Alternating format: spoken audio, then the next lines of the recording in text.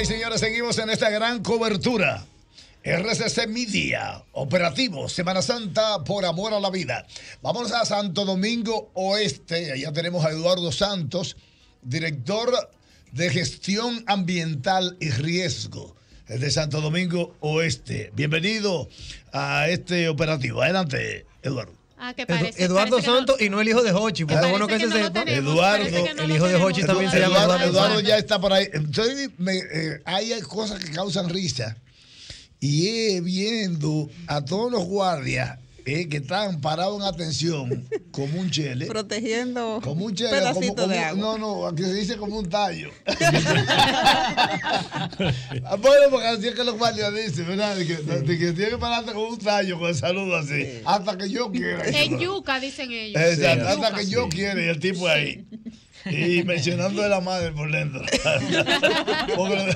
Sí, señor. Mira, mira, mira Marino, Dice, si no entonces, Eduardo Santos oye, en línea, ¿verdad? eh, Oye, y entonces, ya está Eduardo.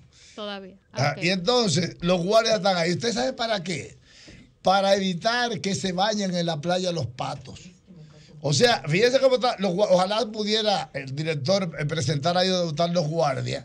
Los guardias ahí para, para evitar que, que vayan a bañarse. ahí. gente. ¿Usted sabe lo que es eso? De casualidad no hay un avión, un tucano ahí volando la zona. Se ve, ahí se ve. Ay, ay, ay. Es que el dominicano, el dominicano es ¿Qué, marico, pintoresco. Mire, Un tucano. mire, es que esa, es que esa playa de los patos, Volando. de los patos No deje de relajo, Barahona, es una de las playas más Mira, eh, excelente, mira, excelente. Pero, mire, yo quiero hacer un llamado al presidente de la República. El 911 es una necesidad para el país. Dejar que ese sistema colapse sería uno de los errores más grandes o garrafal que pueda ocurrir en la República Que le Dominicana. falta poco, Furcal. Oye, Para cal- colapsar le falta poco, ¿está? Sí, Ah, correcto. Oye, ¿Por qué? El 911. yo, yo siempre digo, Ya está el 9-1. Mira, la, la continuidad del. Estado, No, la no, continuidad 9-1, del le Estado falta- hay que respetarla. Si las cosas en un determinado departamento o ministerio donde se, se están haciendo, bien, hay que darle continuidad. Entonces, yo le, hago- le hago un llamado desde aquí al presidente de la República. El hecho de que yo tenga el apellido Fulcar no quiere decir que yo tengo que estar apoyando las cosas que no son correctas.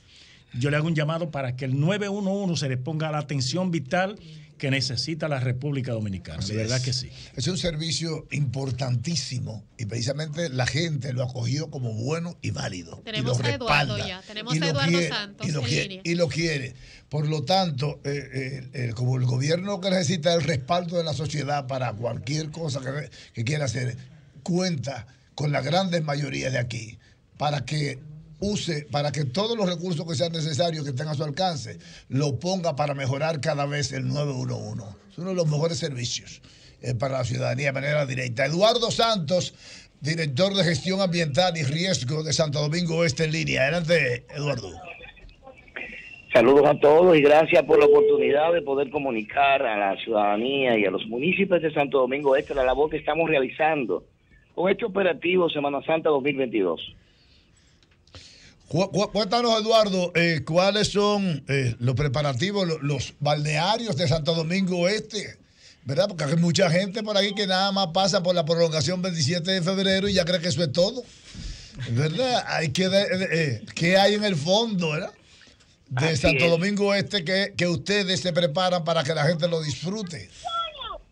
Eso es correcto. Bueno, pues debo decirle que en el municipio de Santo Domingo Este nos hemos preparado, ya tenemos precisamente el año, desde el año pasado estamos procediendo a cumplir con todos los protocolos de organización de este tipo de operativos y este año y este año creo que avanzamos un paso más. El día de ayer tuvimos una rueda de prensa donde lanzamos oficialmente este operativo que se aperturó hoy a partir del mediodía con todos los organismos que tienen que ver con el CMPMR, el Comité Municipal de Prevención, Mitigación y Respuesta de Santo Domingo Este, y estamos trabajando en conjunto.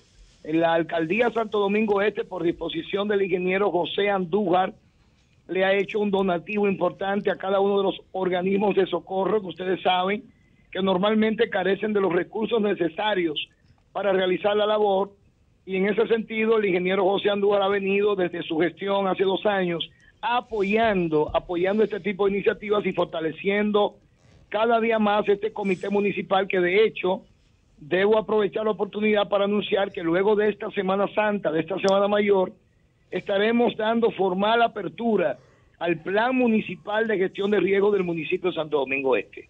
Hoy mismo estuvimos visitando por disposición del alcalde los diferentes organismos, dándoles el acompañamiento correspondiente en lo relativo a que todo esté en orden, que estén funcionando de manera correcta. Y tenemos allá dos balnearios abiertos, el, el, balneario de Palavey de Bienvenido, que está contando en este momento con salvavidas que han sido contratados por la alcaldía Santo Domingo Este para darle soporte a los ciudadanos que van a este lugar a pasarla bien y, por qué no decirlo, el apoyo importante de la Policía Nacional y la Defensa Civil que están también allí cubriendo todo este territorio.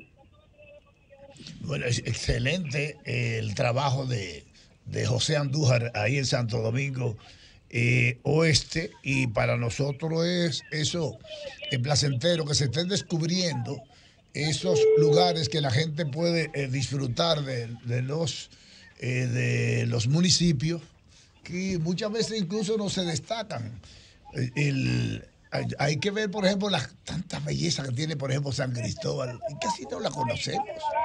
Casi mucha gente porque no se preparan para que uno vaya y eso deja dinero. No, y la, y la gente de San Cristóbal solamente duerme allá, ni los que viven allá la conocen porque salen a trabajar y llegan de noche. Disfrutan más lo que vamos en a ese visitarlo. sentido, en ese que sentido, nos San Cristóbal lo cogemos de ejemplo. Pero, pero, pero probablemente San Cristóbal misma no tenga la culpa, sino que se supone que si aquí hay un ministerio de, de, de- de turismo, no puede ser solamente para vender Es que el los turismo de playa. No, pero el turismo de playa, sol y arena, cuando hay otro tipo de turismo que se puede explotar en la República Dominicana Pero que eso es parte y que de la- puede ser un poco, eh, incluso Los, los rentable. cabildos, los rentable. departamentos, los departamentos. Acuérdate que los gobiernos municipales tienen toda una estructura gubernamental. De promoción y de Y gestión que, municipal. por ejemplo, fíjate, ¿qué tú tienes ahí? A Eduardo Santos, director de gestión ambiental y riesgo. ¿Qué quiere decir? Que eso independientemente del Ministerio de Medio Ambiente. Eh, es el área que ellos cuidan y que eh, acuden al gobierno central cuando ya no, no hay posibilidad. Ellos, bueno, el gobierno no, no nos ayudó y aquí hay que invertir 10 mil millones. 10 mil millones no vale el ayuntamiento con todo, dice, dirá el síndico. Sí, claro. Una pregunta es, para, para el señor Santos. Eh, ¿En qué consiste el plan municipal de rescate de Santo Domingo Oeste que usted anuncia por esta cadena? Mire, ustedes saben que hay una ley, de la, la ley de, de gestión de riesgo, donde el gobierno central está promoviendo a través del COE y a través de la Defensa Civil que los municipios organicen sus comités municipales de prevención, mitigación y respuesta. Es decir, que cada territorio encabezado por los gobiernos locales, los alcaldes, tengan todo organizado en lo referente a, diversas situaciones que se puedan presentar. Y para eso se deben hacer levantamientos técnicos de los lugares vulnerables en lo relativo, por ejemplo, al tema de inundaciones, deslizamientos de tierra, los sismos. ¿Cuáles son los lugares de los territorios que están dentro de la jurisdicción de los diferentes alcaldes que pudieran ser afectados ante una situación de un sismo importante? Es decir, nosotros como municipio, y quiero decir esto, de los municipios de la provincia de Santo Domingo, somos el municipio en este momento de todos los municipios de la provincia de Santo Domingo, el que está más avanzado con el tema del Plan Municipal de Gestión de Riesgos. Y quiero repetir que va a ser lanzado próximamente en el Consejo de Regidores con la presencia del alcalde y de todas las organizaciones, desde la policía hasta la CAS, hasta los bomberos, Defensa Civil, Cruz Roja, todos los organismos, la ONSA, la Oficina Met- Metropolitana de Servicios de Autobuses, que ante cualquier eventualidad tendría que dar soporte en ese sentido, y todas estas organizaciones están unificadas. De hecho, ahora mismo, en este operativo de Semana Santa, ya estamos poniendo en ensayo, lo hicimos el año pasado y lo estamos haciendo ahora, poniendo en ensayo esta unificación estratégica de trabajo. Ya a partir de poner en lanzamiento este plan municipal de gestión de riesgo, entonces todas estas comisiones de trabajo estarán funcionando a un 100% de capacidad. Bien, Excelente. bien, pues, mucho- ahí todo está dicho, ¿verdad? Tenemos también un área donde ir a conocer, pasear por ahí por Bayona. Sí. ¿eh? Las ruinas, las ruinas de Encombe, las ruinas de Palavé son lugares Me, turísticos. mencióname algunos eh, eh, nombres, ¿verdad? De balnearios. ¿Eh? Ahí eh, está. balneario ¿Cómo de se llama ese que está cerca balneario, de.? balneario el balneario de Palavé, el balneario de Bienvenido, que cuenta en este momento con asistencia de, de salvavidas, de la supervisión de las autoridades. Son lugares en este momento que pudiéramos nosotros describir como lugares seguros. ¿Hay algunos Además, que están tenemos- prohibidos en esta, en esta Semana Santa? Claro que sí, porque ustedes saben que a nosotros nos atraviesa el río Jaina Mano Guayao y hay muchos balnearios improvisados que han sido clausurados. Todos están clausurados excepto esos dos que acabo de describir. Para ver, Importante bienvenido. información para las Bien, personas que, muchi- muchísimas gracias, Eduardo, Eduardo, Sa- eh, Eduardo Santos. Eh, Eduardo, eh, hay un balneario que está ahí cerca de operaciones especiales. ¿Cuál, eh, cuál, cuál es ese? Mano Guayabo. ¿Eh? ¿Es el de Mano Guayabo? Sí.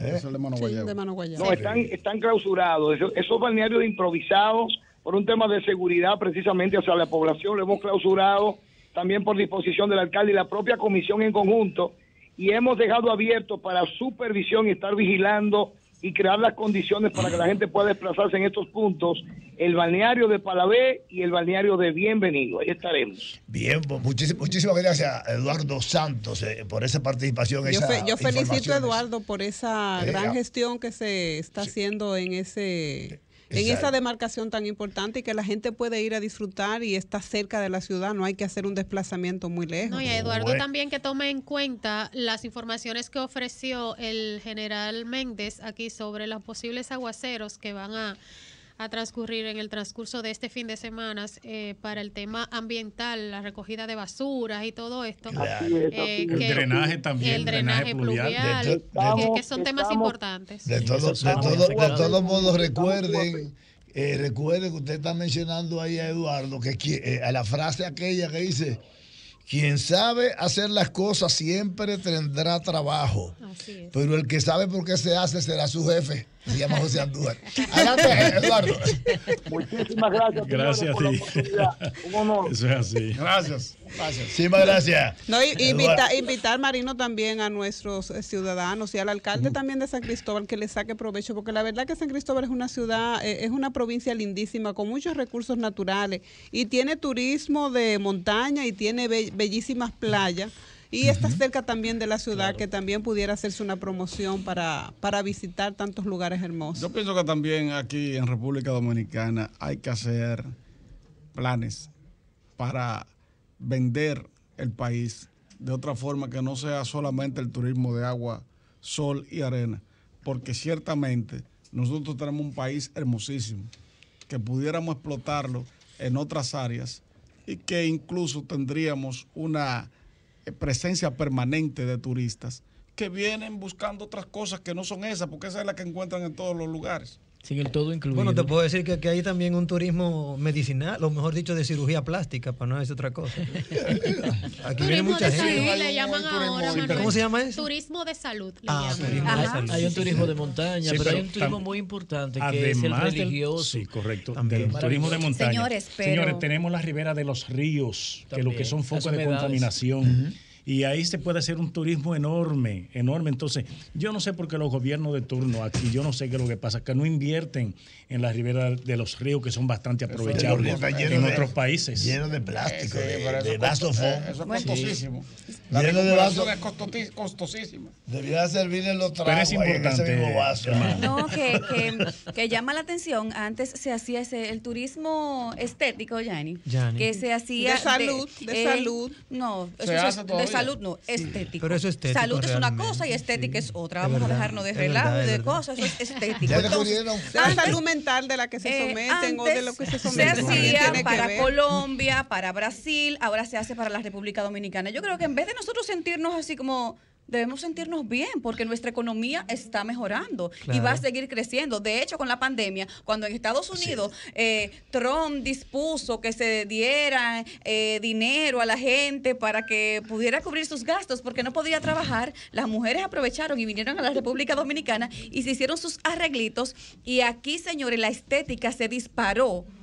Eso fue alarmante. Cierto, Pero cierto. De hecho, muchas Ángel, casas de recuperación surgieron en pandemia en República Dominicana. Eso es cierto. Hay que felicitar a la labor altruista de, de los miembros de la defensa civil, todos esos jóvenes que están en las calles y la Cruz Roja Señores, hay que saber que esos muchachos se exponen ¿verdad? a muchas situaciones en contra de su familia. Y deben Dice, ser ¿Para dónde usted va? Marino, deben ser tomados en cuenta. así Porque no es un trabajo remunerado. Lo Sí, primero es valorarlo, sí, lo primero es eso que le dicen que qué, qué Cruz Roja ni Cruz Roja. ¿Qué? Véngase a acostar. No fue la Cruz Roja la que te Eh, parió. Sí. Sí, correcto. Ven a acostar y se escapan, igual que los Boy Scouts. Después vienen vestidos de Boy Scouts los muchachos ahí. Eh, y, y lo primero que hacen es que le dan una carrera. Aun- Aunque después piensan que el muchacho está haciendo una obra de bien social y que el aprendizaje es bueno, que es importante, pero eh, hay que felicitarlo, ¿verdad? Su buen trabajo, su desprendimiento, su entrega, ¿verdad? En esta, en esta labor de ayuda eh, hacia los demás. Es algo hermosísimo Marino. y tenemos que felicitarlo. Me, me gustaría concluir, ya no queda un minuto. Ajá. Eh, tenía algo del Papa Francisco aquí para Y está tan Ay, qué bueno, No, no, no, mañana, mañana mañana- bien. Mañana. Mañana que el Papa va a estar, eh, y eso esperamos, Dios Saludar a doña Melquis Guzmán, que está en sintonía con Para nosotros. seguir haciendo esta, este operativo de Semana Santa tan bonito como el de hoy. Ya en este minuto quiero eh, eh, enviarle un saludo muy especial que no está en sintonía nuestro hermano, el doc- doctor Roberto Fulcar, que es ministro de Educación. Un abrazo para y Y el vocero de los diputados del PLM, especiales. Julito Fulcar, desde Baní, Saludo también está en él. sintonía. Los fulcanes tan Bien, fuertes. De verdad que sí, es. le auguramos éxito. Y yo- Son eh, hombres él- trabajadores. además, además, Roberto Fulcar y yo somos tocayos. Él es moreno también. Bien. Señores, qué bueno que han estado con nosotros eh, hasta ahora. Esta cadena sigue, ¿verdad? Eh, nosotros hacemos una pausa para volver en la mañana. Ojalá que nada suceda para no tener que abrir de nuevo, pero sí estamos preparados eh, también para eso. Esto es RCC Media, operativo Semana Santa, por amor a la vida. Información y prevención.